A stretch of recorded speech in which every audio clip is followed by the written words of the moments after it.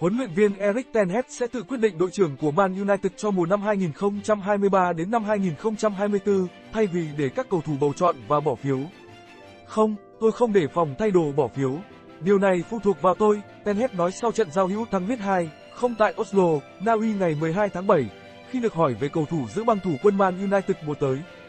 Hè 2019, Harry Maguire gia nhập Manchester United với mức phí 97 triệu đô la Mỹ kỷ lục dành cho một hậu vệ và được ông Ole Gunnar Solskjaer chọn làm đội trưởng vào tháng 1 năm 2020. Kể từ đó, trung vệ người Anh vẫn giữ trọng trách này tại sân Old Trafford, nhưng Maguire dần đánh mất tầm ảnh hưởng khi chỉ là sự lựa chọn thứ năm cho vị trí trung vệ sau Lisandro Martinez, Rafael Varane, Victor Lindelof, Luke Shaw và chỉ có 8 lần ra sân tại ngoại hạng Anh mùa trước. Maguire còn 2 năm hợp đồng và nằm trong danh sách thanh lý của Man United hè này. Mùa trước, khi Maguire không ra sân, Bruno Fernandes nắm băng thủ quân Man United. Tiền vệ Bồ Đào Nha là trụ cột từ khi gia nhập câu lạc bộ vào tháng 1 năm 2020, ghi 64 và kiến tạo 54 bàn qua 185 trận trên mọi đấu trường. Báo Anh Sportmail nhận định Ten Hag sẽ chỉ định Fernandes làm đội trưởng của Manchester United từ mùa tới, bất chấp tương lai của Maguire. Trong trận giao hữu đầu tiên gặp Leeds, Manchester United áp đảo, cầm bóng 62%, dứt điểm 12 cú so với 7 của đối thủ và thắng 2 không nhờ công bộ đôi tiền đạo trẻ Nôm Emerald Joe Hill. Trận này, Rafael Varane giữ băng thủ quân Man United khi cả Fernandes và Maguire vắng mặt.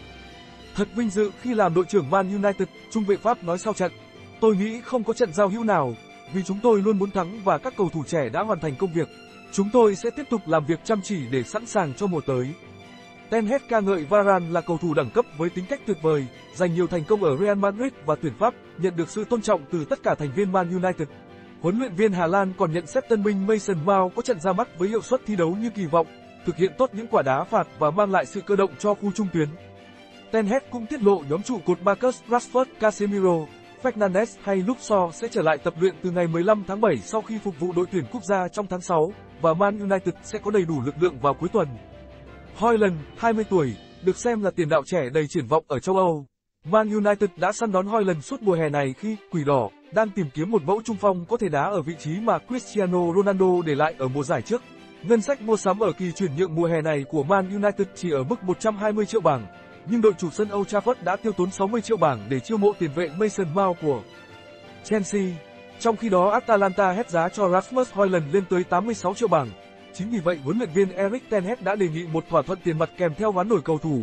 Chưa rõ cầu thủ nào được đưa vào đề nghị trong hợp đồng hoán đổi, nhưng có thông tin cho rằng Fred và Donny van der Beek nằm trong số những cầu thủ có thể rời Old Trafford vào mùa hè này.